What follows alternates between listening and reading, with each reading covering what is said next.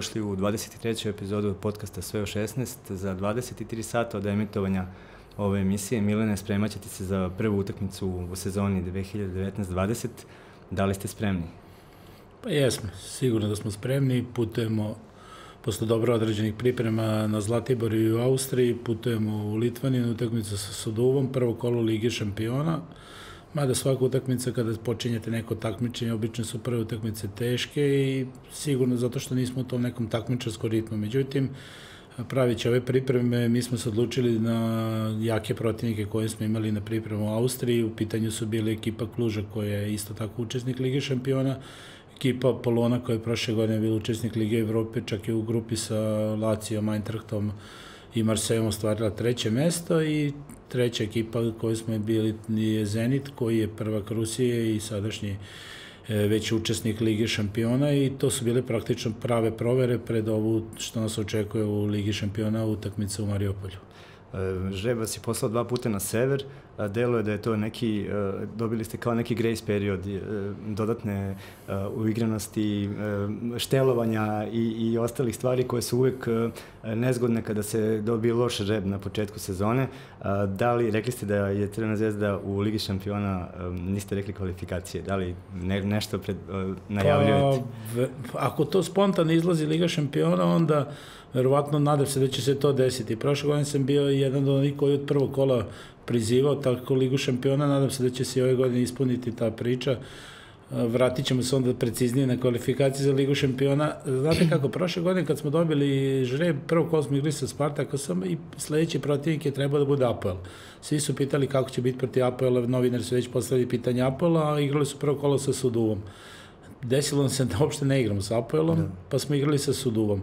Posle toga, treće kola smo trebali da igramo veliki naslov u novinama, Zvezda čeka Legiju, Legija čeka Zvezdu, poljski tim, navijači, sve to, međutim, mi uopšte nismo igrali sa Legijom, igrali smo s Trnavom. Tako da u futbolu je danas pogotovo, ljudi moraju shvatiti, kvalifikacije za Ligu šampiona igraju najbolji timovi iz Liga koji su, znači ne treći, četvrti, peti tim, pa šesti, čak u Ligi Evrope možete imati osvajača kupa koji je praktično ispao u drugu ligu, a da je bio osvajač kupa, tako da je kvalifikacija Ligu šampiona stvarno najče takmičenje, ali igraju samo prvaci iz svojih zemalja.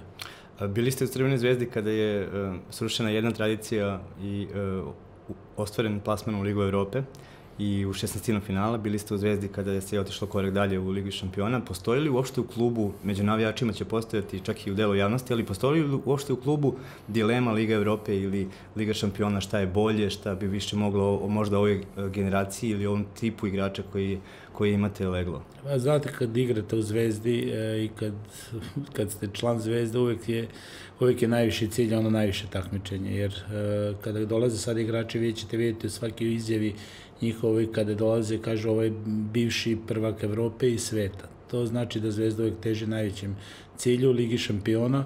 Naravno da svako takmičenje u Evropi kada, kada ste od septembra, kada igrate to takmičenje, da, da je zadovoljstvo Zvezdi, ali naravno uvek se cilja, uvek se traži ta Liga šampiona, jer smo videli prošle godine šta je donala ta Liga šampiona. Mislim da smo zaboravili kako to izgleda igrati Ligu šampiona od 92. praktično ta Liga šampiona nije igrana u Zvezdi i sigurno da su se sada svi sad su svi videli kada dolazi jedan Liverpool, Paris Saint-Germain, Napoli, videli su spektakle koje su objektivno sad ih vidite samo na televiziji mislim da su svima opet i ti porasli. Ne treba opterećivati igrača, ali naravno uvek imaju pred, pred sobom cilj Lige šampiona i za njih je to dobro, za njihovu afirmaciju, a naravno i za postizanje takmičarskog rezultata Crvene zvezde. Vi ste došli pre vašeg e, šefa, tako da kažem, Vladana Milovića, mesec dana, e, potpuno na dva različita načina i ta Crvena zvezda koja je sklapana 2017. E, bila je formirana oko grupe igrača, zvezdaša, srpskih futbalera koji su otišli preko, neko je uspeo, neko nije, neko je se možda i umeđu vremenu bio zagubio i to je bila prilika za njih da, da se i sami re, re, re, reafirmišu, tako? a i da donesu klubu uspeh i to se dogodilo. Kako bi, e, kako izgleda dobro sastavljen srpski futbolski tim u smislu domaćih igrača, polaznika iz škole i stranaca? Koja je to kompozicija? Pa jedan od redkih koji je e, pominje neku prošlost, to je 2017. i to svi zvezdaši treba da se sete tog perioda. U pitanju je bio Zlatibor, u jednom momentu nas je bilo 13 igrača, praktično 13 seniorskih i 9 omladinaca koji su pošli na te pripreme, zvezda koja se renovirala, zvezda koja je tražila nešto novo, predvođena direktorom Terzićem i, i sportskim direktorom Mrkelom, koji je došao isto u tom praktičnom periodu. Ne samo, ne samo igrači koji su došli, koji su bili neki zvezdaši. Treba reći da je trener Vladan Milović praktično bio trener omladinske tima Zvezde, kadetskog tima Zvezde, koji je napravio rezultat, već tada imao sa mladincima je bio prvak prvak Srbije i praktično i on bio igrač koji je isto ostavio traga u Zvezdi kao i u igračkoj karijeri, tako i u trenerskoj karijeri u mlađim selekcijama, tako da je bila grupa jedna igrača predvođena strancima koji su na prvom sastanku kada je Vlada Milović obio razgovore sa njime koji su rekli da oni praktično čekaju dane kada će napustiti zvezdu Donald Latalek Kanga, Međutim, to se sve promenilo kroz e, praktično tri nedelje. Smo imali već prvu utakmicu sa Malto, sa ekipom sa Malta Valetom. E, e, praktično dve prijateljske utakmice koje smo igrali bili Rudar Pljevlja, s kojima smo odigrali nerešano, i Erpstacija Užica s kojima smo odigrali nerešano. Verovatno niko u tom momentu nije očekivao zvezdu u Ligi Evrope i svi su bili nekako skeptici i proveravaju neki, neka okolina i misle joj samo da se ne ispadne od Irtiša, da ne bude neka bruka, pa kako se prolazilo, pa ajde dobro Sparta, pa ajmo dalje. I na kraju kad se stiglo do onog Krasnodara, tad je već bilo onako, želja se javila ponovno za Ligu Evrope i to je stvarno bilo ne želim da, da poredim atmosferu protiv Liverpoola, Napoli i to, ali mislim da je ta utakmica napravila jedan prelomitan utak u Zvezdinoj sad novijoj ovoj istoriji. To osjećanje tih 50, pa čak možda i 60.000 ljudi koji su se skupili na Marakani, jednostavno ta energija koja je bila da se jednom, posle deseta godina ponovo igra Liga Evrope, praktično, e, je bila neverovatna energija i praktično se tu e, prelomilo. Ta pobjeda protiv Krasnodara je Zvezdi omogućila da igra Ligu Evrope i na kraju e, posle toga se već napravio jedan iskorak, prezimilo se u Evropi, igra se ta utakmica famozna sa CSKA-om što u te dve utakmice i opet se desilo da, da te utakmice, bili smo ravnoporan protiv, ono što kažu e, ljudi, e, posle ću se nadovezati u priči koliko je to bitno za srpski futbal, pa e, nismo imali sreće, ali će naravno uvek mama da danas spočitavaju kako je imao Zvezda sreće u Salzburgu ali niko neće se vraćati na taj moment u Moskvi kada Šilja Pešić i Ben da. promašaju dve šanse u zadnjim, zadnjih par minuta, kada dobijamo gol u 45. minutu, kada Radonjić u prvoj utakmici sam izlazi sa pola terena na golmana Kimfeva, gde mi promašujemo još tri šanse u Beogradu protiv CSKA, niko neće reći tada je CSKA imao sreće, nego uvek ovde probaju da vaš rezultat ni podaštavaju, pa kažu da, da, lako je njima, imali su sreće u Salzburgu. Ali do, nekako se sklopila ekipa mimo očekivanja, leglo je sve. I neki igrači koji su uh, lutali i nisu imali sezone za sebe, neki nisu imali po dve, tri ozbiljne sezone za sebe, su igrali ozbiljan futbol to, te jeseni. I um, to me zanima um, da li, koje su povuke izvučene iz te sezone oko uh, uopšte formiranja uh, zvezdaške atmosfere u, u slačionici koja pretpostavljam da je jako bitna i nadogranje onoga, onoga što je pronađeno u, u, po Evropi, po, po raznim, raznim krajevima i vraćeno u Srbiju. Slažem se i mislim da je vaš, vaše mišljenje o, o slačionici kao jedno od najbitnijih segmenta, mislim da je to prvi segment o kome se vodi računa. E, napravljena je neka atmosfera u slačionici gde je bilo praktično porodična atmosfera. Znači, znalo se i kada se šali, znalo se kada se radi, stranci koji u dotom momentu su bili onako malo i razjedinjeni, nisu bili deo ekipe, imali su, imali su problema sa nekim stvarima koji su van futbolskim, znači nekim isplatama i nekim stvarima, oni su počeli da, da, da dišu zve, tim zvezdaškim plućima, jer je većina pokazivala to srce i želju koja je vrlo bitna bila za zvezdu u datom momentu. Svi su bili podređeni jednom jednom teškom radu. Uopšte nije bilo lako i naivno napraviti ekipu u datom momentu od igrača koji su izgubili samopouzdanje, koji su praktično, nije prošlo tri nedelje od sezone koja je proglašena neuspešnom ili s gubitkom titule u zadnjih par kola i gubitkom kupa, vi ste dobili jednu ekipu koja nije verovala u sebe.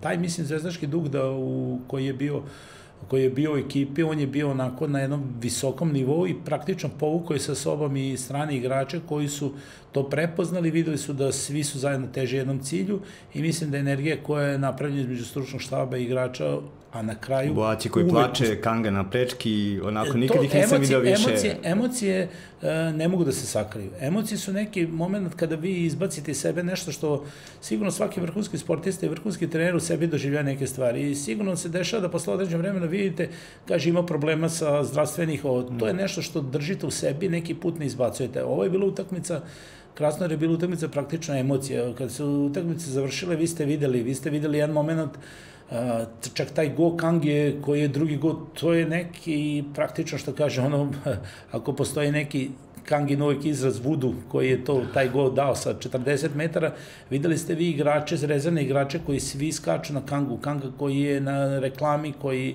praktično sedi posle utakmice na prečki. I to su sve neki momenti koji pokazuju koliko je truda, želje i napora bilo uloženo te godine, odnosno te pripreme Zvezde, da se vrati na onaj put koji Zvezdi pripada.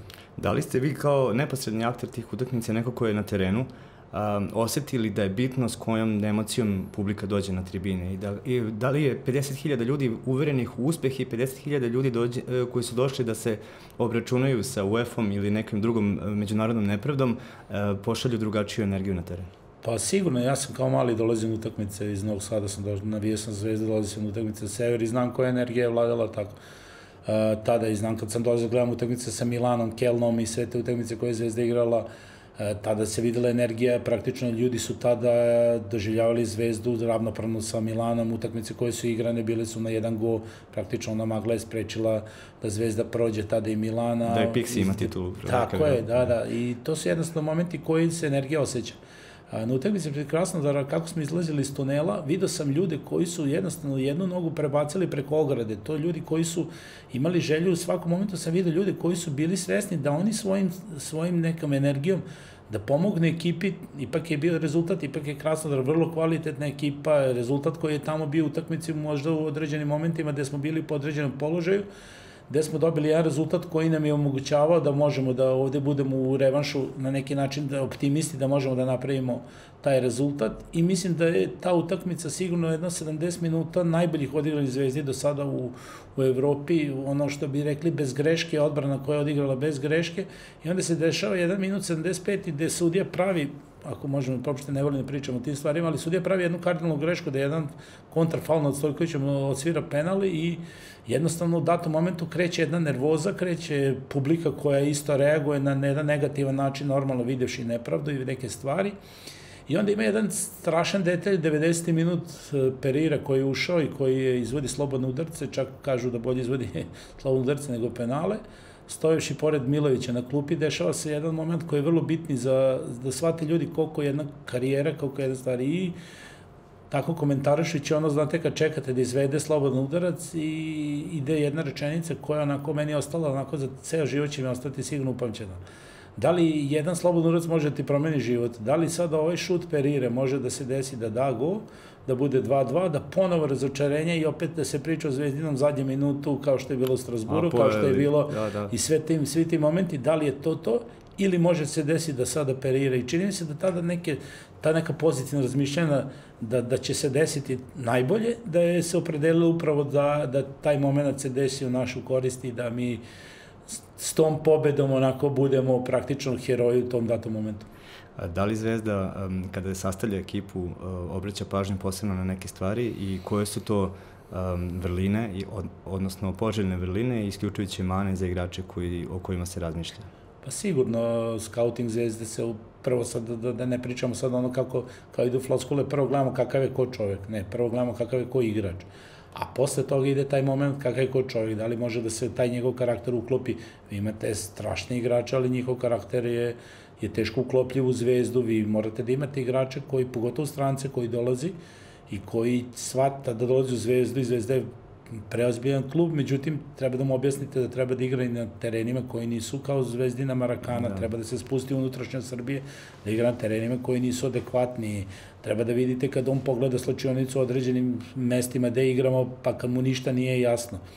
To je moment, naravno, karakter je vrlo bitan, ali isto tako e, smatram da svaki trener, stručni štab, sportski direktor vode računa o tim stvarima, da nije neko problematičan, neko ko će ugroziti atmosferu, neko ko, ko će nekim svojim stvarima van terena ugroziti, povući deo ekipe. To su sve stvari koje se vode računa i imali smo, nalazili smo mi u skautingu strašne igrače, ali koje, koje su imali te neke mane koje bi odveli u neku drugu krajnost i povukli za sobom deo ekipe, a sigurno se to sve manifestuje na terenu i odustali smo od njih, iako navijači kada čuju neko ime, vi sad da, kad da, čujete da, da. Baloteli, vi sad mislite Baloteli to, ali Baloteli sa sobom nosi ozbiljne opasnosti po ekipu.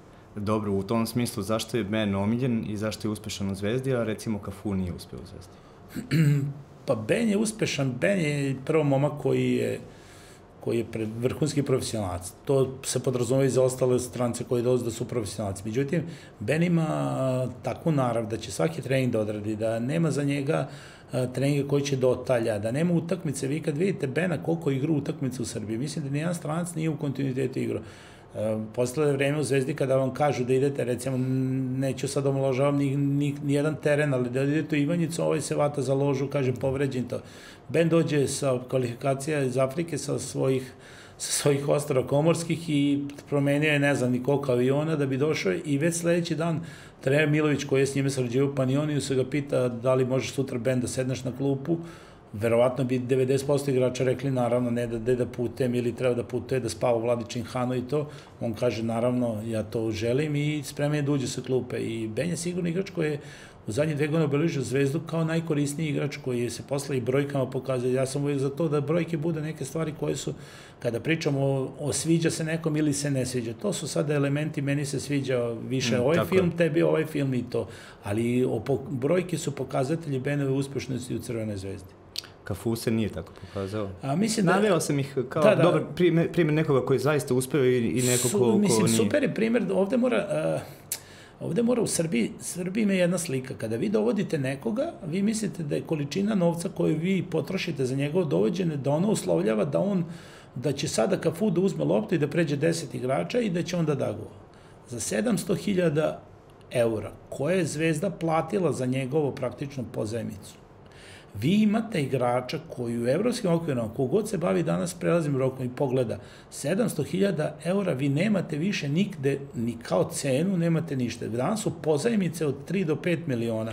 To je suma koju su, neki igrači uzme za dve nedelje, tri nedelje u klubu. Po, sigurno, da, da, da, bukvalno, bukvalno to. Mi, smo, mi ovde nemamo predstavu kakav igrač je za 700.000 eura. I onda mi stvorimo lažnu sliku. Onda smo isto tako informisani o tome kako je on igrao za Ludogorec, pa je onda bio ovde dominantan protiv utakmice Zvezda Ludogoreca, ali ne treba zaboraviti da i Kata je recimo utakmice protiv Ludogoreca igrao sjajno. Pa opet kada vidite e, učinak i sve to Kafua, koji drugo Kafu ima jednu jezičku barijeru, ne zna dobro da govori engleski jezik, ne zna čak ni španski, portugalski je ok i druga stvar, igrajući Ludogorecu bio okružen sa 7-8 Brazilaca da. koji se praktično držali ekipu Ludogoreca. U Zvezdi naravno nikada se neće desiti da osam igrača brzilaca bude da zato što Zvezda ima svoj znači neki način funkcionisanja i sve to ipak je Zvezda pravi srpski klub koji recimo e, vodi račun o tome da ne preplave sve stranci jer bi to bilo pogubno za srpski fudbal. I sad vi imate od Kafu koga su ljudi očekivali, pre toga ga je Bordo platio 8,5 miliona, znači nije stvar da. samo proceni zvezde, nego je proceni toga. Svi ovde koji su bili listom su govorili dovedite samo Kafua, samo Kafua, dovedite samo Kafua. Videli smo na treningu da taj nivo nije i jednostavno čini se da se dobro nije ni velika su očekivanja bila kad se on pojavio, velika su očekivanja, a on nije bio u datom momentu spreman i nije bio na, na najvećem nivou forme da bi mogao da se, da samim tim posle toga nije imao dovoljan broj utakmica da, a pošto je bio pozemljeni igrač, nije bilo smisla da forsiramo pozemljenog igrača i jednostavno epizoda se tako završila. Ne mislim da je to, ja samo molim ljude da pogledaju jednog Kutinja koji je došao za 140 miliona u Barcelonu, pa se nije snašao i kakav igrač i sve to, jednostavno ne snađe da su u jednoj sredini, neka sredina odgovara, neka sredina ne odgovara. Crvena zvezda je sredina koja malo te, teško prašta, odmah traži rezultate i e, potraga je nastavljena, došao je Mirko Ivanić, e, kog je Crvena zvezda dugo želela da, da, da dovede i pokušavala i pokušavala i na kraju uspela.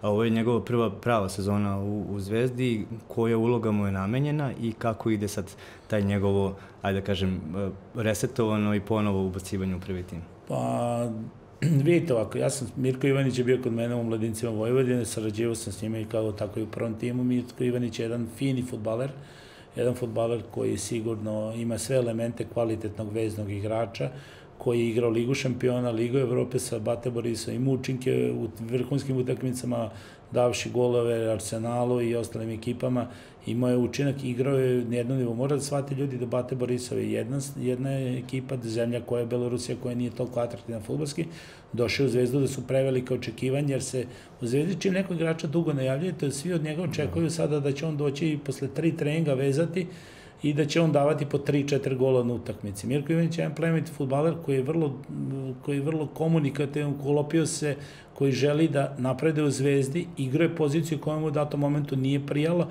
i nije bila njegova prva pozicija. On može da igra sa trenutno u futbolu dosta pozicija, ali jednostavno najbolje se osjeća u poziciji prednjeg veznog igrača, veznog igrača koji dolazi u završnicu, veznog igrača koji je praktično box to box, dobar organizator igre i čini mi se da bi trebalo ova sezona da bude njegova sezona, da ostaje onako jedan dobar i ozbiljan pečat u Crvenoj zvezdi.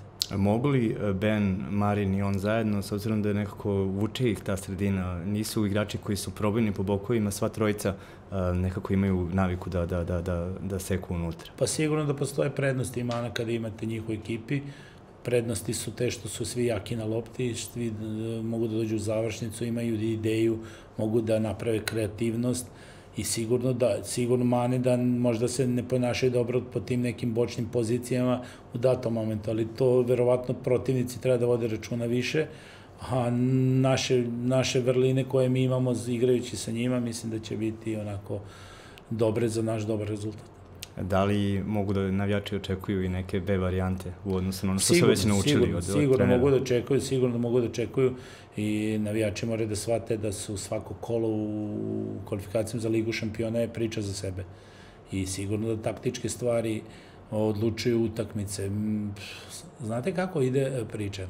Kada vi stavite određeni igrača na poziciju Bena u Parizu, na mesto špica, odmah ide javnost kritike i to sve.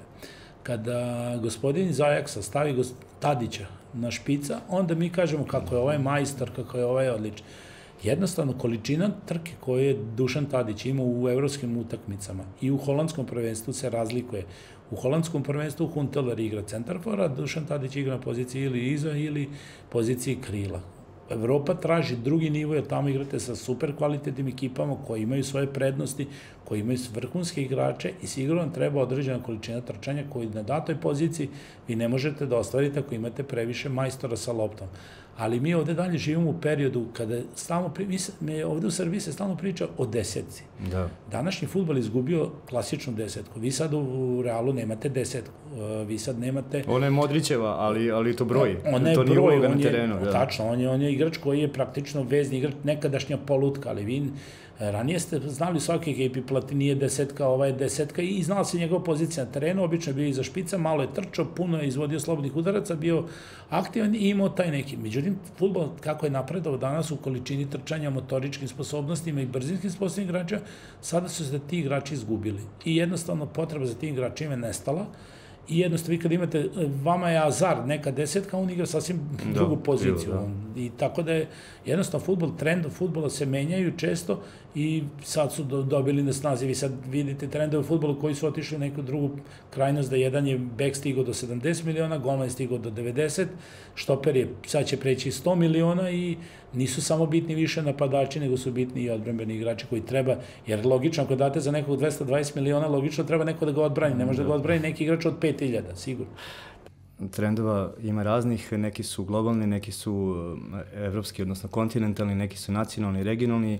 Eh, zvezdin trend i u jednom trenutku pomenuli smo ga bilo vraćanje svoje dece ili igrači iz Super lige koji su se možda negde pogubili u inostranstvu i okup, okup, okupiti ih na jednom mestu, ali e, dogodi se s vremena na vreme da e, ti igrači ostvare veliki e, uspeh, e, iznesu klub, međutim e, na neki duži period e, izgube onu žar, izgube onu, onu, onu glad za pobedama s kojim su dolazili i onda negde posle dve, tri godine već pričamo da li, da li su se oni ponovo drugi put zasetili zvezde srpskog futbola ili treba da se ode. Koliko je u stvari to moguće izvući na taj adrenalin i na taj na tu emociju od igrača i, i dobijati od njih više od onoga što, što mogu i ja mogu da kažem da su Jadin Savić, Žuća Stojković i čak i Mile Rodić i ostali pružali u Ligi šampiona više od svojih mogućnosti trenutno.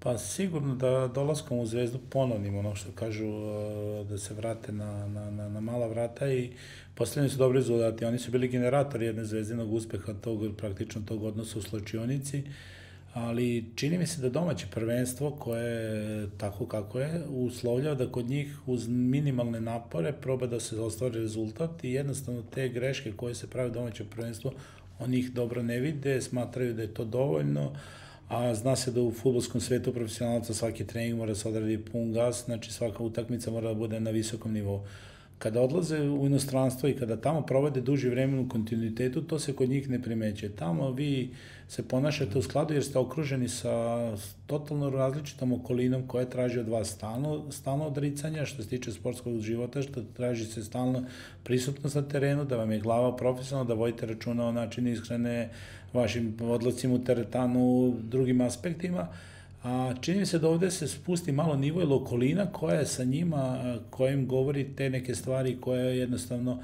misli da, da da pustite, ne, ne moraš pun gas, e, dobit ćete danas i to malo spušta kod njih taj nivo i čini se ta zasićeno se vidi kod njih. Naravno, teorija koju, ja zastupim je da kontinuitet određenih igrača u, u Zvezdi i to sve, ono donosi jedan rezultat u igranosti, ali ta glad, želja za pobedom i sve to, čini se da treba s vremena na vreme dovoditi novu krv, osvežavati, jer igrači koji dolaze sa novim ambicijama, praktično koji su po znacima navoda gladni, oni mogu da ostvaraju rezultate hipotetički kako bi izgledala Zvezda koja je recimo, ne, mogu, ne možemo kažemo stalan učesnik Liga šampiona jer bi to značilo i promenu sistema kvalifikovanja i takmičenja, ali Zvezda koja eto, ne dozvoljava sebi da sezonu bez Evrope i, i posluje u nekoj pozit, na pozitivnoj nuli ako ništa više. Pa čini mi se da čini mi se da ova zvezda ima ono što kažu dobre početne pozicije da to bude u budućnosti.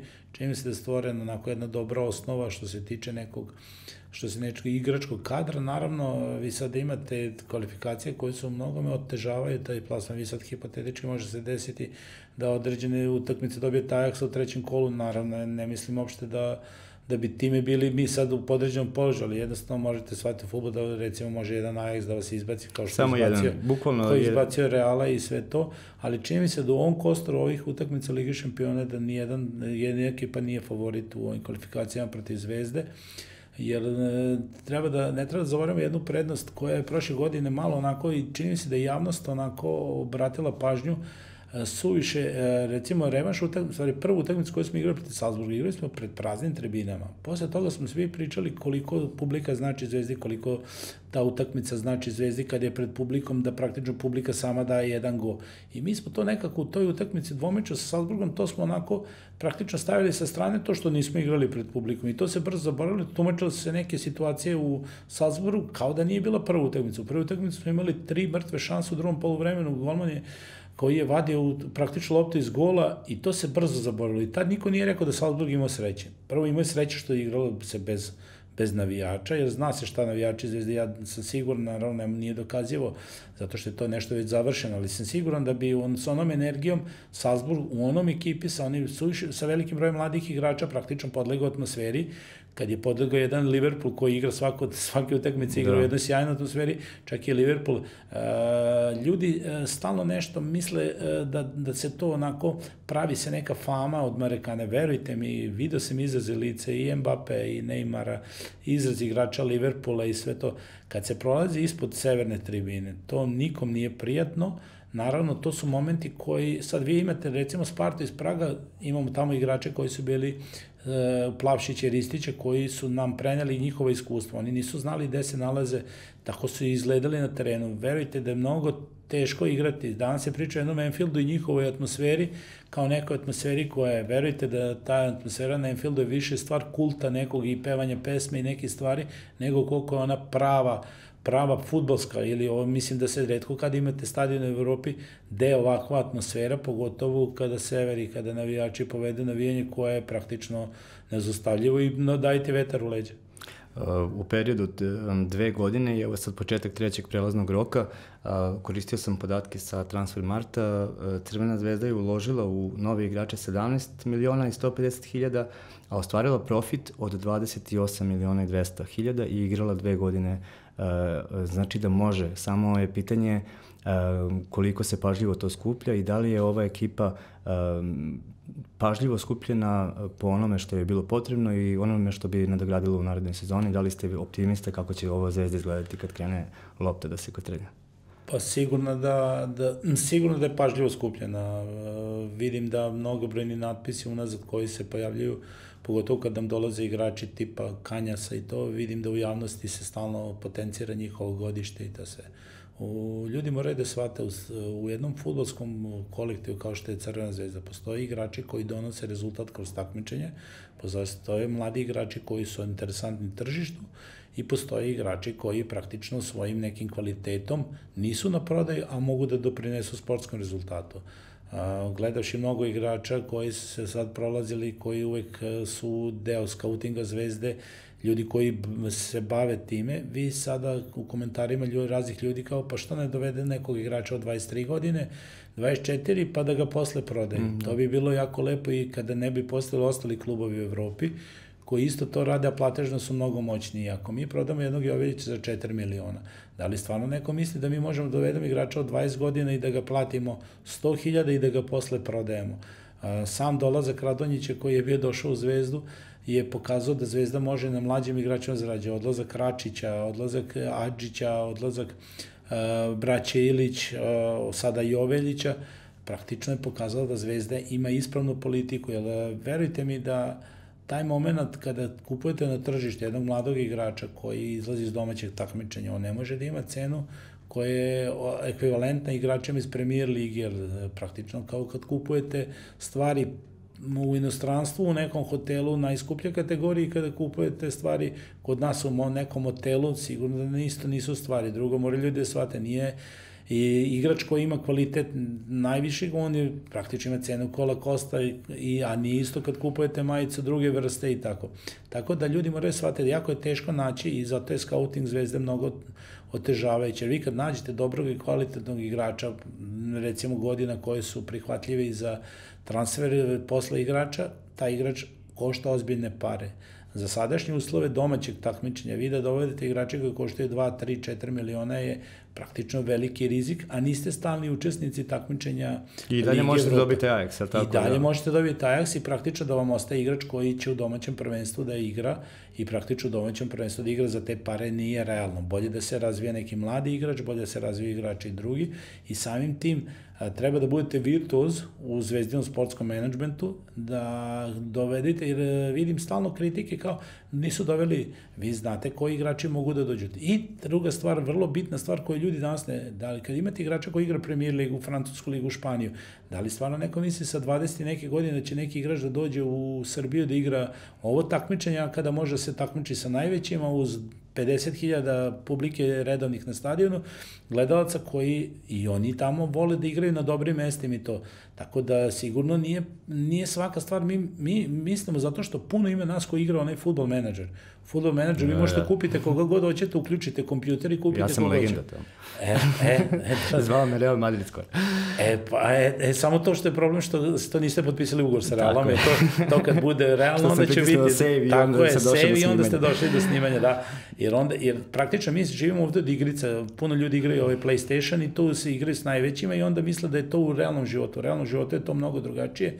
Vi danas morate da shvatite da kad dovedete igrača treba da ga ubedite da igra domaće prvenstvo, treba da ga ubedite da dođe ovde, da te pare koje mi danas mislimo da su ove astronomske, te pare imate danas u Evropi nedeljno te pare i koji igrači zarađuju sigurno da onaj tamo profesionalac ako može nedeljno da zaradi neki, neku cifru koja je tamo sigurno ne, da ne, ne bira Srbiju, jer mi stalno mislimo, e, izabraće Srbiju, Beograd je lep grad.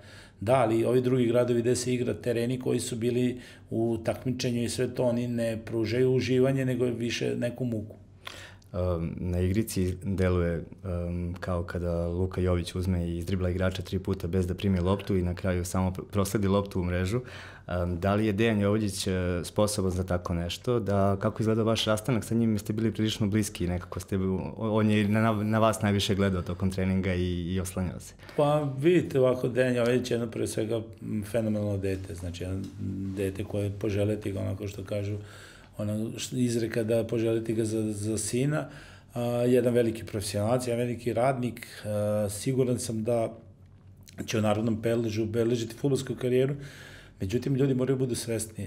Neće Jovelić 1. septembra dati pet golova za Eintracht, neće on dati. On je kupljen i samim tim potpisivanjem ugovora Ljudi moraju sad, kad neko potpiše ugovor na pet godina, to znači da njega računate prva godina je adaptacijana godina, druga godina da se navikne na sve te stvari i da počne da ostvaruje određene rezultate. I treća godina, četvrta su neki godine kada vi donosite ono što traži on, golove, profit i sve to. Pardon. Luka Jović je doveden u Real, opet je ugovor potpisan na pet godina. Videli ste sami da velike klube niko ne potpisuje na godinu, dve dana, jer od mladog igrača koji tek buja i e, ovelja godinama, sada sada ima 19 godina, odnosno 20 godina, on tek 22. 23. godina treba da ostvari neki ozbiljan. Mi stalno pričamo o nekim mladim igračima. Ja sam stalno, pošto se bavim tim zadnjih praktično 7, 8, 10 godina odradivši u Vojvodini s mlađim selekcijama, posle u reprezentaciji s Veljkom Punić, to, stvarno sam uh, upoznat sa velikim brojem mladih igrača koji igraju danas u Evropi. I redko kad, redko gde ćete videti mladog igrača da igra u vrhunskom futbolu. Vi imate, pričamo o Barceloni, La Masia, škola, između ostalog bio sam tamo i video sam kako se radi i sve to, i onda dođete i postavite pitanje nekom običnom da vam navede dva igrača iz škole sada u zadnjih par godina, Nema. nastaje tajac nastaje tajac, pa da je ta škola tako... Igraju u Villarealu, u, tako u Betisu, e, u Portu igraju. Da. Tako je, oni, oni idu dalje, jer vrhunski nivo vrhunskog kluba traži To je malo i problem ovih mladih igrača u Srbiji, što svi misle da mogu da igraju odmah u zadatu u Zvezdi. Jednostavno, Zvezda sada u ovom nivou, pogotovo za, za, za dao bi neki apel i igračima koji izlazi iz omladske škole. Nemojte odmah misliti da treba da igrate za prvi tim Zvezde. Treba da imate postepen put. A, ne vidim zašto bi generacija 8-4 koja je bila Perović, Basta, Boško Janković to išla da igra mm, jedinstveno up. Da i na kraju postali svi vrhunski igrači, reprezentativci, zašto je to lošiji put nego sada svi traže, njihovi menadžeri, svi, svi traže da odmah igraju prvom tim zvezde, koji objektivno danas prvi tim Zvezde igra Ligu šampiona i danas je jako teško da je mladom igraču uđe u ovaj sastav, da bude takav da se ne primeti njegove greške, da bude taj neko ko će da bude deo tog tima, a da ne, vi ne osetite godine. Danas prose godine imate Lige šampiona 27, 26, finalista 26,8, imate Zenit kojima smo igrali, on ima 28 godina, najmlađi igrač je 9-5 godišta, a mi stalno ovde tražimo da igraju 9-9, 2000 i, to, i da ostvarujemo profit, da se takmičemo, pa da valjda bi svet bio pametniji od nas, ima mnogo više novca, pa bi igrali mlađi igrači, ali ne igraju. Vi imate jednog Viniciusa u Realu koji sad, evo, sad je praktično opet će vraćan biti na ono mesto gde mu pripada. On je silom prilike igra da. u Realu koji je bio bez Čekao takmičarskog rezultata. Tako, da. tako je, on je bez takmičarskog rezultata. Vi znate kad igraju mlađi igrači, odmah dolazi do, do, do slabih rezultata, jer je jednostavno to, mladost ne daje rezultata i ne daje konstantnost u igri, a samim tim vi morate da budete svesni. Ovde stalno ljudi misle, ajde da stavimo mladog igrača, da ga prodamo, da napravimo rezultat i da onda još da ga prodamo za 30 miliona. Danas su to nerealne stvari, to opet To je neravno, ali zato je po apel za mladi igrače Zvezde da kružni, toga sad je dobra stvar što postoji grafičar, praktično drugi tim Zvezde i koji tamo da se razvijaju, da te seniorske korake mnogo lakše prebrode i onda da dođu spremni da mogu da ispune zahteve u prvom timu Crvena zvezda. Neposredno pre nego što ćemo uh, se naći da snimimo epizodu je Futbolski savez Srbije donao još jednu promenu u, u, u sistemu takmičenja i licenciranja igrača. Um, prvo je uh, ukinuta podela bodova, a, potom je promenjen sistem ispadanja, sada četiri ekipe mogu da ispadnu iz uh, Super lige i četiri da uđu iz Prve lige Srbije i na kraju je promenjeno da um, će od sezone 2020-2021 svaki klub morati da ima dvojicu igrača mlađih od 21 godine. Uh, eto, ajde da kažem, ovako kad se kaže, deluje vrlo eto, sistemski sa, nekom, sa nekim višim ciljem da, da ti mladi igrači imaju neko zagarantovano mesto. Kako vama koji ste u rudniku dole i koji to zaista radite, kako vama deluje to pravilo? Pa iskreno da kažem, ja sam to pravilo već bio da živio, pošto sam mnogo dugo u srpskom futbalu, praktično sam počeo od pete lige, trenirao sam petu ligu u indeksu, tu sam počeo karijeru, pa sam se susretao u četvrtoj, trećoj, drugoj ligi, pa sam prošao praktično i dvojne registracije, prošao sam i ograničenje kada su bili mlađi igrači i praktično sad se ponovo vraćamo na neki da jednostavno probamo da određenim propisima probamo da da pospešimo stvaranje tih mladih igrača. To je s jedne strane mnogo dobro za mlade igrače, sigurno će da se reći da, ali on ako je kvalitetan, on će igrati. To su neke floskole, ali vi danas imate problem trenera koji neće da stavi mladog igrača. Zbog njih je to verovatno i doneto pravilo. Tako, tako je, vi danas imate, vi moramo da shvatimo, Srbija je razvojna liga. Mi smo razvojno tržište, mi smo e, tržište koje prodaje igrače koji praktično isplatišu i zemlje bogati koje dovode ovde i da uzim igrače. Ako je prosjek godina u određenom klubu 28-29 godina i takmiči se u prvoj ligi i recimo igra sa 10 starih igrača, oni će ostvariti neki rezultat 5. 6. 7. mesto. Da, šta ono donosi tom klubu i šta ono donosi uopšte razvoju srpskog futbola, ja stvarno ne vidim, ne vidim svrhu postojanja. Jer vi u principu imate e, jedan problem. Mladi igrači moraju se razvijaju. Oni se razvijaju kroz utakmice. Dobar stvar, deo stvari odrađuju kroz treninge, ali bez utakmica nema njihovog napredovanja. I ako vi morate propisima to da uradite, to znači da neke stvari nismo Tako dobro radili. Uh, vi kad pogledate, danas kad gledate scouting Belgije i Holandije, vi ćete uvek u svakoj ekipi naći po 3, 4, 5, da, 6 da. igrača ispod 21 godine. Ako može jedna Belgija Holandija, koja, Belgija Holandija koja je isto mala kao i mi u, smislu toga, ako ona može da promovišta i ako ona zna da da tržište traži danas mlađi igrače. Vi morate ovde da imate obavezu da ti mlađi igrači se eksploatišu, da ne zbog prode, da neko me ne shvati pogrešno, nego da, da, da oni igraju, da bi posle ti mladi igrači imali rezultata koji igraju za nacionalne reprezentacije Srbije, kada prave rezultate u mladoj i kasnije u A reprezentacije. Mi kad smo bili na Novom Zelandu, ta ekipa je već bila sastavljena od prvoligaških igrača, imali su iskustva i dobar deo dobrog rezultata koji je tamo napravljen je upravo posledica toga što su igrali seniorski futbal bili su zreli od svojih vršnjaka, igrali da. su već takmičarski futbal, znali su kako se ponašaju na terenu, a čini mi se da je Srbija dobra podloga, da ne vidim stvarno razlog da, da danas neko spreča mladu igrača. U stvari, razlog se kriju u jednoj stvari, treneri se brzo i lako smenjuju i treneri posle 2-3 neuspeha, onda se on opredeli za iskusni igrač. Iskusni igrač on daje odmah rezultat i to nije sporno. On vam daje neke, ali na dugoročni razvoj kluba, dugoročni razvoj, mladi igrači su ti koji donose prevagu, ti koji donose novac za funkcionisanje i ti koji praktično e, svojim nekim kvalitetom i radom odlaskom u inostranstvu budu kvalitetni i čini se da, i zna se da gro naše reprezentacije čini igrači koji igraju u inostranstvu to, to pravilo ako ima manu ima uh, tu da klubovi ne mogu da se zaštite od preranog gubitka najboljih mladih igrača. Oni mogu da izgube 2-3 najbolja pre u 18. 19. godini, a imaju obavezu da ih drže do 21. Možda tu nije, uh, nije obostrano razmišljano u oba smera, a s druge strane imamo sada i pravilo da ne mogu više od četiri stranca, i da, da, da, sad sam zaboravio, pravilo pozemicama koje mi posebno nije jasno zbog čega je tako promenjeno da svako može da pošalje uh, koliko god želi igrača u bilo koji da. klub. Pa verovatno vidite, svako pravilo ima i svoje mane, to sigurno da verovatno zna, ja se sećam da je jedno vreme bilo je strašno pravilo dvojnih registracija. Vi ste subotom niste igrali za prvi tim, odlazili ste da igrate nedeljom za drugi klub i onda je dolazilo, u jednom momentu se dešava da ekipa u kojoj vi igra, znači koji mladi igrač igra, ne postoje se igrači da igraju sutra dan, zato što se igra protiv neke ekipe koja je u dobrim odnosima s tom ekipom i dolazi do izvrdavanja pravila, ali se broj igrača, mislim, postala je jedna statistika, broj igrača koja je nastao u tom momentu dvojnih registracija i tih je mnogo više mladih igrača se baš tako promovisalo. Sigurno da taj broj uh, ustupljenih igrača i to malo onako je zbunjujući za praktično vi možete da pravite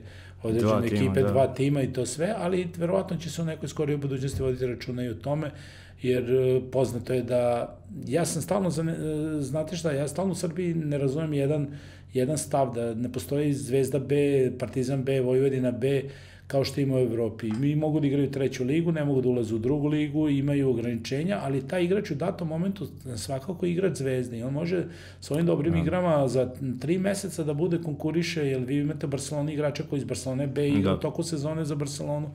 I to je jednostavno, uh, mislim da, da su te stvari treba voditi računa o tome da ti klubovi mogu da nosi prefiks Zvezda B i sve to, jednostavno da to može samo biti dobra stvar za, za srpski futbol. Sada će sigurno voditi više računa i o stvaranju.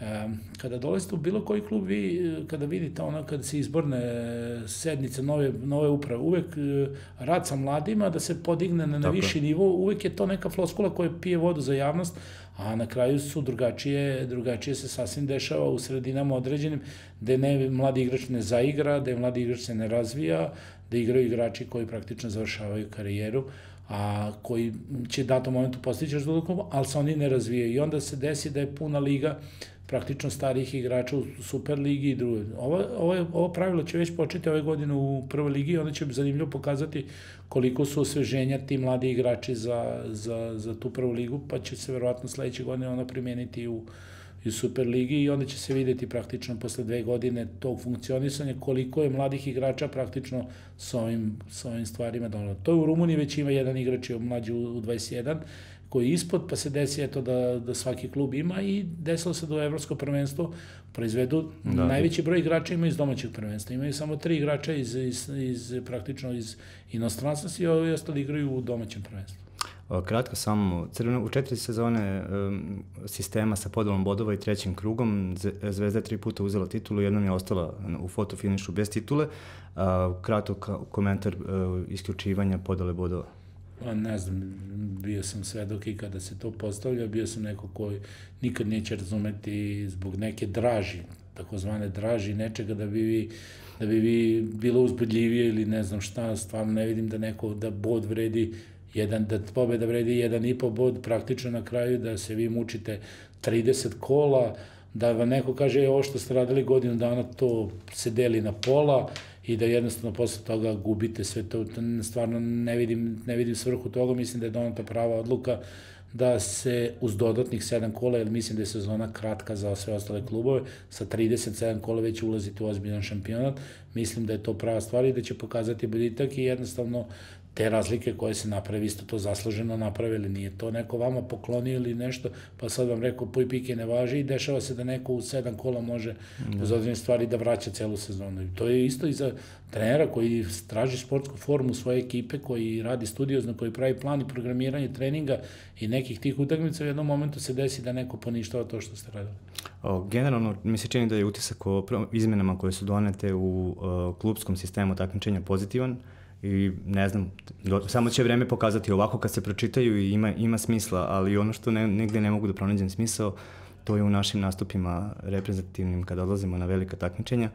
E, bili ste deo jednog velikog takmičenja, jednog velikog, odnosno najvećeg uspeha e, u, u, u istoriji srpskog futbola, ajde da tako kažem, reprezentativnog e, i gro tih igrača je posle dve, tri godine zabeležio nula pobjeda na dve završnice um, u gde beše, sa Lalatovićem da, da, u Poljskoj, da, tako, da, da, i, i, Poljskoj i u sada u sada u Pa dobro, e, kako, kako nam se to dogodi? Pa vidite, ovako, bio sam deo dva, znači bio sam na predstavu Evrope u 19. u Mađarskoj i tu smo bili u polufinalu, smo izgubili u Portugalu. Da. da, posle, posle nekako je to ostalo zapaženo, jer godina pre toga je 2014. Uh, ekipa sa Elektorom Drulovićem bila prvaka evropski, pa posle toga mi odmah smo bili nezadovoljni da. sa polufinalom koji smo izgubili na penale da niko, nikoga nismo izgubili na tom prvenstvu, da smo igrali nešto s Nemačkom koja u zadnju minutu nam dala go. I praktično posle toga smo proveli praktično zajedno s tim evropskim predstavim i, i 32 dana na Zelandu imam 50 dana nekog turnirskog takmičenja. Turnirsko takmičenje je mnogo specifičnije od kvalifikacije. Kvalifikacije se uglavnom odviju 3-4 dana pre toga sa okupi ekipa, napravi se taj neki, zavisite puno od forme igrača koji su u datom momentu i birate igrače koji su bolje ili slabije forme. Turnirski deo takmičenja nastav se obično da se dešava posle sezone. To je pre svega morate urediti jedan mini pripreme koje da se oporave ekipa, da se pronađu različite vrednosti ekipe, spremnosti igrača. Mi tu već negde počinjemo polako da, mi da tu se počinjemo, gubimo. Mi počinjemo, ne znamo više, da nama igrači koji su igrali za Arab staciju dolaze dva dana pred prvenstvo Evrope. Vi kad vraćate igrači starije selekcije, to je već malo problem psihološke prirode, koliko se od njega očekuje, da li on u datom momentu može da pruži i da li sve to.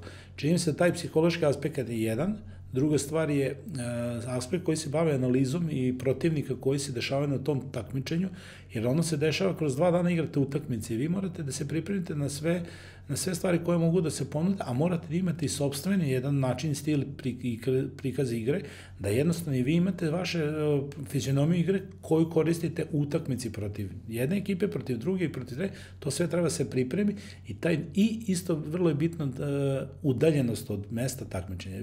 Gde god smo blizu bili takmičenja, imali smo problem. Okolina, porodica, menadžeri, prisustvo njihovo na, da, da, da. na turniru, koje utiče nekako pravi neki, ajde, da kažem, pod znacima navoda, da, da imate jedan nered u, u, u tom spoljašnjem svetu. Mi smo bili na Novom Zelandu sami osuđeni na ono što smo mi, niko nije bio s nama, bili smo odvojeni od svih. Na drugom kraju sveta, daleko, neki Srbi otišli tamo. Neki i... Srbi otišli tamo bez, bez ikakve euforije, neki Srbi otišli bez nekog cilja. Uh, posle prvog kola, posle prve izgubljene utakmice, svi već počeli zaboraviti i na kraju to vam je ono Srbija. Ne, prvo kolo niko malte ne nije gledao, a na kraju ljudi na ulicama da. koji vas pozdravljaju i sve to, to je Srbija, ona je kratko vreme za euforiju. Um, naš loš početak na velikim takmičenjima, prvi rezultat uglavnom znači debakl i raspad sistema u naredne dve, ali e, Veljko i vi i ostatak stručnog štaba ste uspeli da podignete ekipu. Šta je bilo presudno između prve utakmice sa Urugvajem, tako je, do, i druge Prvo, sa... Tako je, da, druga sa, dru, druga sa Malijem, pa posle sa Meksikom.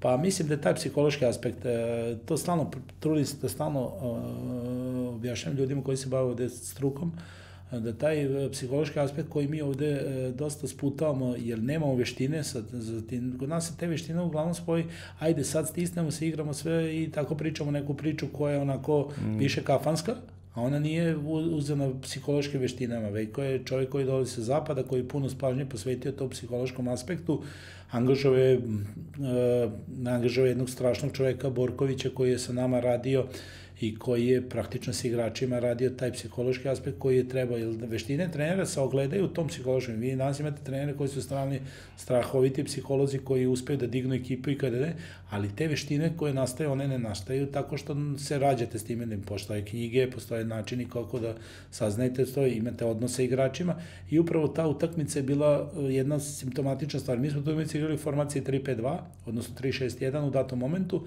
i promenili smo baš zbog Uruguaja koji igra s dva napadača i malo smo promenili igrači u početku, igrali smo možda najbolju utakmicu, najkvalitetniju na prvenstvu, međutim šta se desilo, izgubili smo tu utakmicu. Igrači su onako malo, znate kako igrači, čim izgube u jednoj formaciji, oni misle da ta formacija nije adekvatna. I to je sad veština i trenera i stručnog štaba da prepoznaju. Oni su dali signal da, da im ne prija, mi smo se vratili ponovo na formaciju to, nismo bili onako terali inat, nismo neke stvari i ubedili smo ih da, da, je, da je utakmica dobro odigrana i da će ove sve stvari koje se dešavale protiv Uruguaja, da će se sve to popraviti u sledećoj i praktično bili smo jaki jer smo znali, znamo i svi da smo borili rekord svih takmičenja, da smo igrali svaki minut što može da se u teoriji odigra na jednom takmičenju. Da li ste u radu sa reprezentacijom, odnosno Savezu, došli u e, dodir sa nečim što bi se nazvalo nekim postulatima srpske škole futbola, našim, našim stilu, obrisima, kako bi to trebalo da izgleda šta, i da li se uopšte u našem futbolu neko bavi ozbiljno um, prirodom bića srpskog futbolera, kakav je on, koji su njegovi strahovi, koje su njegove vrline mane, šta je njegova prednost u odnosu na konkurenciju iz ovog ili onog dela sveta i na čemu je, šta je ono na čemu bismo mi u budućnosti mogli da radimo da bi bili bolji od drugih. Pa, o tome, o srp, takozvanoj srpskoj školi to, a, tu su podeljene mišljenja, sigurno sam, ako postoji neka teorija o srpskoj školi futbala, ona postoji u talentu igrača koji se rađaju na ovim prostorima. Jednostavno, geni koji mi ovde posjedemo, oni su sigurno vezani, da za, mi smo predodređeni za, praktično za igre sa loptom i to je već neka stvar koja je svi dobro poznata. Futbal koji je uh, koji igramo ovde, mi predstavljamo, naši igrači su talentovani. To, taj talent niko ne može da oduzme i to su sigurno, mi jedinostavno nismo shvatili da za taj talent treba postoji nadogradnja. Šta nam se dešava u tim nekim praktično razvojima tog srpskog talenta praktično, ja bih više nazvao razvoj srpskog talenta, ne škole, je što zavisi od određene grupe ljudi koje dođu jedna grupa ljudi, pa ona promeni, da. pa onda sledeća promeni i jednostavno mi nemamo tu koncenzus kako treba da izgleda srpska škola futbola, odnosno kako ona treba da izgleda. I da ti igrači napredujući kroz kategorije neke stvari enormnim ponavljanjem uh, Tako iz vremena vremena A postane zašto se dešava? Zato što ovde postoji sujeta. Kad neko napravi rezultat, oni ne bi, nas, ne bi se ovde grupa ljudi da nastavi to dobru stvar, nego Odmah se kreće iz početka, pa pravi se nove stvari, pa onda kaže, ma taj šta, pusti, taj ima sreće. Jer u Srbiji, vi, u Srbiji je jedina stvar kako se dele struka i treneri. Je na Koji ima trenere sreće koji i- imaju i sreću koji i, trenere nema. koji nije imao sreću. I vidite, kad god ima izjave, kad god je neki trener nije imao rezultat, on nije imao sreće. A onda je se još napominje da onaj drugi imao sreće. Jer vi kad, vi kad govorite o utakmicama zvezde, kad mi pobedimo, onda smo imali sreće, a kad izgubimo, ništa. Onda ne. A onaj trener koji ne može to, onda kaže nismo imali sreće. Imao sam primjer na svetskom prvenstvu na Novom Zelandu, mi smo imali sreće. Niko ne kaže šta smo svi uradili da bi ta, te utakmice bile tako odrađene, da bi se Kako su dešavalo- izgledali sastanci, kako su izgledali kontakt sastanci, između tako je. momaka, Pa, koliko mislim, vremena da li provođeno smo- vreme, zajedno i, i, i, i u sali da se gledaju utakmice i van nje. I Dali smo tri gola iz auta, dva gola iz slobodnih udaraca. Da li neko misli stvarno da je neko došao i uzeo i bacio auta, da igrači nisu bili postavljeni? A, Od tih sitnih da je, pa toga što pričamo, od suplementacije, od oporavka koji je bio, nije klasičan oporavak, je mogo bi da pričam dva dana o oporavcima koje smo i radili na Novom Zelandu, o, o igricama u šumi, o kretanju, neke stvarima koje su Da da bi- mnogo kreativne. Da, Da bi, bi Nemanja e, mogao u 120 minuta produžetka poslednje utakmice da istrči I znate šta će pola terena sad? i spoljnom A znate da, kada će da, reći? Da, za- da, imao sreće, svi kako je šutno, prošlo mu kroz nogi. Mi stalno... On je imao kiselnika da trezveno razvi, e, razmišlja u, u finišu sprinta od 50 metara, to, se, to, je, to je redkost. I, i imaju onaj karakter što ja pričam. Znate, ovde se stalno u, u Srbiji se spominje kao nemamo mentalitet. Nemoguće da u košarci Sale Đorđević šutne da. ima mentalitet, da ovaj Bogdanović ima mentalitet, da ovaj ima mentalitet, a da, o, pa nisu futbaleri rođeni u nekim drugim da. mestima, nisu oni sad rođeni u nekom drugom mestu, pa da oni nemaju mentalitet. Mi ovde neuspeh, e, najlakše ovde neuspeh, nisam imao sreće i nemamo mentalitet. To su dve stvari. A kad imamo, kad imamo uspeh, on kaže imali smo sreće. Ne, nije to tačno. To su veštine koje posjedujete i koje imate i koji se koriste i koji se razvijaju. Zato, re- recimo, absurd je, e, kad se završilo svetsko prvenstvo, to na Novom Zelandu, uh, usledile su onako bi trebalo i to evropsko prvenstvo u Litvani koje je isto uh, dobar deo ili dobar deo generacije ili njih 5-6 igrača je bilo i na prvenstvu Litvani i posle na svetskom prvenstvu u Novom Zelandu. Uh, trebalo je da se iskoristi da se vidi šta je to dobro uređeno. Pre toga je postala selekcija tih igrača, postojale neke stvari koji su dobro rađene u Savezu i trebalo da se iskoristi za dalje i sada praktično da se vidi šta je to dobro, koji su uzroci, šta se dobro radilo i da to bude neka pra dobra osnova za dalje, što se i ti sad malo pre spomenuo sa neko dalje usavršavanje i da imamo neki da imamo neku matricu kako bi se i naredne ovo smo generacije... radili, bili smo dobri, ovo nismo Da, radili ni, i, i bili i smo ovde loši. nismo, tako je, i da se sagleda to. Posle toga, imao sam, pošto su Veljko e, i ostali deli stručnog štaba, uglavnom su već bili otišli za Chicago, ja sam ostao ovde kao selektor u 19 reprezentacije, imali smo brojne pozive za držanje predavanja u okolnim zemljama. Pa smo, gospodin direktor Mrkela, koji je sad sportski direktor Zvezde, i ja išli da držali pra, pra, par predavanja, ali ne predavanja, vi nekom pričate vaše predavanje, ne nešto to, nego vi nekom pričate šta ste radili da bi bili to. Tačno. I da objasnite to. Da i nekog tamo to ta- zanima. Takom to ne zanima. Ovde, verujte, ovde da. nismo imali ni jedno. Ovde nismo imali ni jedno. Čak šta više, na određenim predavanjama ljudi koji se bavili ovde strukom, sam dobio, čak sam i prisustvovao tim a, predavanjima, čak sam dobio informacije da smo se mi bavili više a, a, pravljenjem rezultata, a ne pravljenjem igrača. I tak, takve su bile, takve su bile e, jednostavno predavanja da ja jednom momentu nisam mogu da izdržim, čak sam i reagovao na to. I desi se da u današnjoj reprezentaciji ima devet igrača koji su igrali na zemlju. Znači, ima se i rezultati igrača, jer u futbolu praktično e, ja nikada nisam čuo da neko vam sad kaže, e, juriš rezultat, a ne praviš igrače. To nikad, to je izmišljeno ovde od onih koji su gubitnici, pa su izmislili kao, ma nije bitan rezultat, bitno je da pravim igrače. Ako ti dobro učiš u školi, Tako je. ti moraš da dobiješ peticu. Ako dobro učiš i ako dobro savladaš gradivo. Ako u futbolu dobro savladaš gradivo i dobar si u svim elementima, onda ti na kraju moraš da imaš i rezultat. To ne može da se razdvoji jedno od drugo. Ali Za mi New York, stalno... si, za New York si mora njuriti rezultat bez pravljenja igrača. Mislim, ko će da ostvari taj, taj Ne, rezultat? I to ne postoji, Da. nego to je samo floskula za one koji gube, pa oni objašnjavaju, ali bi mi je pravim igrača. Ti ga posle pitaš, a dobro, gde su ti igrači? A on kaže, a neko drugi ih je upropastio, A ovde kao juriš rezultat i kao ne praviš rezultat. Vidite, nikad se... I to, i to je nakon se udari neka priča kao mi smo svetski prvaci, jurili smo rezultat, a nismo pravili igrače. To je totalno, jer se sad 9A reprezentativaca, posle, posle dugo vremena jedna generacija ima toliko a reprezentativaca praktično koji su izašli iz tog perioda i koji su i danas zapaženu ulogu igraju u igranju, u igranju futbala i u inostranstvu i sve to.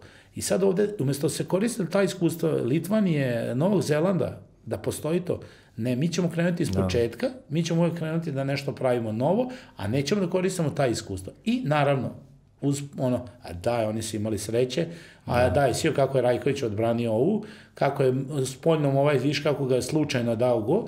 Jer mi nismo imali sreće, ali smo primili 10 za 3. Ovde, za, nismo, da. ovde, nis, ovde ne da nismo imali sreće, ovde smo čak imali sreće, jer znate zašto smo ovde imali sreće? Zato što je najbolji pojedinac bio golman. Jeste. Znači, mi smo imali sreće i tu, ovde je najbolji pojedinac bio golman. To su neke, neke stvari koje se ovde, da ovde sad dešavaju. Mislim da, da, da, da ta škola futbala srpska može da se napravi, može da se implementira, ali moraju svi da imaju jedan zajednički cilj, da ne bude sujete, da ne bude se ona prave ad hoc, kako se ko promeni, tako on pravi svoju sobstvenu školu, ona mora da ima obrise srpskog talenta, jer srpski talent sigurno postoji. To niko ne može da me, da me ubedi da to ne postoji i praktično on treba da se zasnija tom talentu. Ali moramo da shvatiti, talent je samo jedan dan segment futbola, Danas motoričke sposobnosti, selekcija, nauka koja mora da bude prisutna. Vi danas ako imate egzaktne podatke kako izgleda danas futbaler jedan koji pretrči 13 km, koji pretrči, ne znam, 400-500 metara u sprintu, koji odradi to, to su danas futbaleri koji danas su na tržištu i koji postavljaju rezultate. I mi stalno objašnjamo kako izgleda tamo neki Ronaldo, kako Cavani izgleda, mi moramo i da napravimo i tako igrači koji, to, koji ovde tako izgledaju.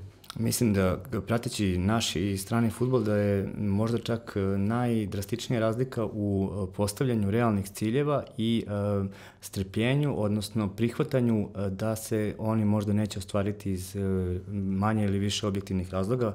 Mi nekako tu najviše grešimo kad odemo na evropsko, svetsko ili evropsko prvenstvo na koje nismo još otišli, ali dobro, valjda hoćemo. Recimo, bio je paradoksalan slučaj iz 2009. kad smo izborili odlazak na svetsko prvenstvo u Južnoj Africi. Imali smo autobus sa otvorenim krovom, gde je proslavljeno uz pesmu Trubače, kako se zove, ovaj, da, da. vatromet da. na stadionu, 40-50 hiljada ljudi, Oreo je bio tu, e, igrači su imali vožnju kroz grad i onda smo bili nezdovoljni što na svetskom prvenstvu nismo prošli u drugu rundu. E, jednu stvar smo proslavili kao da smo osvojili titulu, a onda smo tamo bili ponovo nekako nespremni da prihvatimo šta je naš naš šta je realnost, šta je realnost da. Mislim da tu evo recimo sada imamo promenu selektora. Selektor Tumboković je došao i rekao na predstavljanju da će uraditi sve da odemo na evropsko prvenstvo ali ako se to ne dogodi, život ide dalje. Isto mislim da je to pogrešna poruka poslata i svima, pa i tim igračima da, da se od njih možda to negde ni ne očekuje, a da imamo ekipu koja bi morala uh, da igra, da igra evropsko prvenstvo i mislim da nekad po potrebi re, relativizujemo ili stavljamo određene ciljeve kao omču e, ljudima i onda dolazimo u okviru istog ciklusa do toga da smo nešto morali da uradimo i neko dobio otkaz i nešto nismo morali da uradimo i, i život ide dalje. Možda kad bismo tu bili malo sistematičniji, malo hladnokrvniji prilikom postavljanja onoga što je realno i ono što bi moglo da bude malo manje realno, um, za to je potrebno pre svega da poznajemo sebe, a tu smo nekako najtanji. Bavimo se scoutingom protivnika dobro, ali možda nismo do kraja e, razumeli zašto se nama dešavaju neke stvari. Pa čini mi se da kad postavimo sebi najviše ciljeva, što je ono u principu da je nekoj teoriji psihologije najbitnija stvar, a ne pravimo realne ciljeve. Mi pravimo ciljeve koji su odma i sada, ako mogu da se za vikend dese, nebitan je kontinuitet. Uh, verujte, kada gledam one trenere, recimo trenera Barcelone koji 3-0 napravi prvu utakmicu, izgubi 4-0 u revanšu, ja mislim da bi on ovde ili skočio s mosta ili bi ga ovde obesili zato što se to desilo. Valverde, taj isti je i dalje trener Barcelone. Uh, Tuchel koji ima ekipu od milijardu i 200 je i dalje trener Paris Saint-Germaina. Ljudi su shvatili da jedan rezultat, on pravi se u kontinuitetu i da ti treneri koji prave kontinuitet, zamislite da ste sad jedan Guardiola koji je priznat i nemate titulu Lige šampiona sa Manchester City-ima koji je dominantan u nekim stvarima, da ga sad menjate i da dolazi neki novi. Da, da bi osvojio samo, samo to, tako? Da bi osvojio samo to. Činjenica da u futbalu postoje konkurenti. Činjenica da je futbol sport koji i danas igraju sve države sveta, praktično vi danas kad gledate, evo gledao sam sad ovaj Gold Kupa, neki Haiti, koji smo mi ranije pobeđivali 100-0 i to sve, oni danas igraju polufinale tog Gold Kupa, pa pa teško gube od Meksika, odnosno gube u produžecima od Meksika. To su danas rezultati koji vama, kad je neko pričao ranije po 9, 6, 7, 0, danas su i se i države promenile. Vi danas imate, kad igrate protiv Luksemburga, to ne igrate protiv Luksemburžana, to igrate protiv svih naturalizanih mm, da. ljudi koji igraju tamo. Malo pre smo se i dotakli, nismo Zaboravio sam da objasnim priču i oko tih domaćih stranaca, kada je bilo kod nas veze. Stranci domaći, ima, mi imamo pravo na četiri stranca da igramo. A vi imate Napoli koji ima pravo na 10 stranaca. Ja. I vi kad igrate s Napolim, igrate samo sa Insinjem i on je jedini italijan na terenu, sve ostalo su igrači stranci od Golmano Spine, pa preko Hamšika, preko Fernanda Rui. I igračka Fernando Rui sad, sad dobre koji obeleže ovo evropsko prvenstvo je igrao tu utakmicu za Napoli. Nigde nisam video kod nas da se spominje taj igrač, da se dobrati pažnje, ako je pre toga došao za 35 miliona iz Betisa mi smo rekli, ma da, i tamo igraju, ne znam ko je to uopšte. Mi, samo kad se nešto desi, posle toga mi onda prepoznamo. Mi nikako da prepoznamo pre toga, tako imamo problem i igrača da prepoznamo pre nego što će se on desiti. Kad gledalac vidi igrača, onda smo svi zakasnili struke. Ili kad ga Real dovede ili kad ga Real dovede, a mi smo ga ovde, mi smo ga ovde onako dosta sputavali. Seljakali, sve seljakali iz, tako je, i, a, sa klupe A reprezentacije. Ali mi smo opet u stanju, mi smo opet u stanju da kad on ne da, da gol svalimo, u oktobru, da, da, mi smo opet u stanju da ispričamo da on nije kvalitetan, jer je, bože moj, nije dao golove, ali recimo kad je u pitanju Dembele koji igra u Barcelonu, Barcelonu za 105 miliona i glavni isključiv krivac za poraz Barcelona protiv Liverpoola Dembele, jer u 91. minutu ima mrtvu šansu i još jednu 100% šansu kad vam Messi ostavlja loptu, ali to niko nije rekao, niko se nije bavio tim, tom analizom, nego su pričali neke druge priče. Taj od 105 miliona, 105 miliona koji je plaćen, ne daje taj gol. Pa ja ne znam, ovde kad promaši igrač od 2000 eura, on mi ne kažemo, vidi, ovaj nema pojma. E, to je neki taj absurd koji kod nas i dobro je, dobro je šlagord, taj, ti neki ciljevi koji su realni. Mi moramo da shvatimo koja smo zemlja, e, koliko igrača imamo, koliko imamo registrnih igrača, pa naša zemlja ima, toliko Nemačka ima registrnih igrača koliko naša zemlja ima stanovnika. I normalno da je tamo konkurencija mnogo veća nego ovde, ali samo treba da damo realne, realne ciljeve da ne maštamo o tome i da te cilje koje smo napravili, recimo kad budemo svetski, evropski, omladski prvaci, da to onda treba da izeksploatišemo, jer sve te generacije koje su pred nas bili svetski prvaci, španci, to, oni su to eksploatisali u A timu. Posle nas 2017 su Nemci bili, sada ti Nemci su sad igrali okosnice ekipe, igrala sad na ovom da. evropskom prvenstvu i oni su, 2000, oni su 97. godište koje je bila okosnica na ovom evropskom prvenstvu, pa su napravili i rezultat na evropskom, verovatno ćemo za par godina njih videti sve u u, na, u A timu, što i, i zadatak svih omladinskih selekcija da pravi igrače i proizvodi igrače za A tim, naravno da uz, uzme jednu dozu rezerve, da postoje igrači koji se kasnije razvijaju, koji su u datom dobu nisu razvijeni, koji njihove sposobnosti nisu moguće i onda se dešava da neko kaže nisu prepozni Matića u Zvezdi i Partizana, ali su ga prepozni. Ne, jednostavno u datoj 16. godine nije bio taj nivo. Pa onda zatim dalje dolaze i zato ne treba nijednog igrača ispuštati, jer Ne, Englezi su, dugoročni razvoj futbolera je bio do 21. godine. Sad su Englezi podigli tu starostnu granicu od 23. godine, mm -hmm. praktično imaju fokus igrač do 23. godine i onda daju, daju konačni sud. Ovde, kod nas, 17 godina, da. ako ne predrilba njih 6, da. ako ne da 9 gola, ako jo, Jović ne da 10 gola sledeće sezone, da, da, da, e, kupili su mačku u Bukvalno, da, oni mi kao daj, kao šta se dešava sa njime i to se jednostavno, absurd je ovde. I druga stvar, molim da omolažavamo igrača od 18, 19 i 20 godina. Mi to strahovito uživamo u tome. A onda kada sediš u, u nekim društvom prijatelji, pitaš ga, izvini, a tvoja čerka koliko ima godina, šta radi?